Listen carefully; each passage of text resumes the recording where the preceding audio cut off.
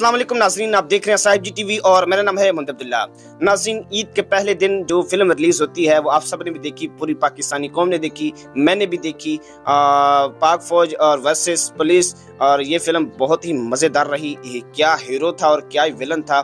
मज़ा आ गया ये फ़िल्म देखकर पाकिस्तानी कौम ने और मैंने भी पर्सनली बहुत इंजॉय किया। पुलिस का जो पाकिस्तानी कौम के साथ एक घटिया और गंदा गलीज सलूक था ना, उसका ये बहुत ही अच्छा जवाब था, बहुत भरपूर जवाब था जो पाक फौज ने दिया।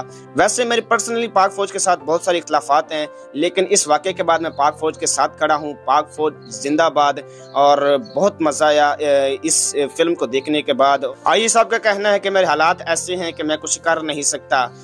हकी के साथ मारा गया।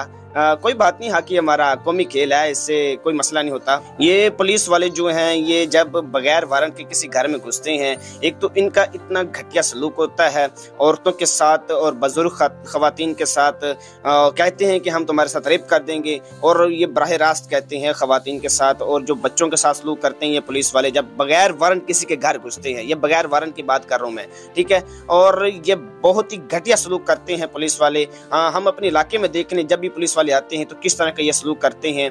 और जानते हैं हम पुलिस वालों को कि इनमें कितनी गैरत है, जब ये, अब ये अपनी वर्दियाँ जला रहे हैं। जब तुम लोग किसी की बहन बेटी के साथ नारमा सलूक करते थे, तब तुम लोगों की गैरत नहीं जागी। अब तुम लोगों को गैरत याद आ गई है कि हमारे साथ गलत हो गया। जैसा करोगे, वैसा भरोगे मकाफाती अमल है। जब तुमने बुरा सलूक किया है तो तुम्हारे साथ भी बहुत ही बुरा सलूक होगा। और हमने इस फ़िल्म को, ये जो ईद के पहले दिन रिलीज़ हुई है, बहुत इंजॉय किया है। पर्सनली मैंने भी बहुत इंजॉय किया है। आ, आप किस बारे में क्या राय है? आपने इसको इंजॉय किया है या नहीं? कमेंट सेक्शन में मुझे बताइएगा। आखिर में मेरे साथ चंद नारे बुलंद कर दें। पाकिस्तान जिंदाबाद पाक फौज जिंदाबाद।